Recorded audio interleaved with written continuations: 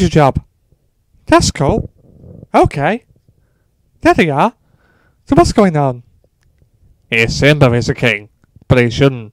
This time, I knocked down Simba the back to the Masasa. I know. We were there though. What? That's right.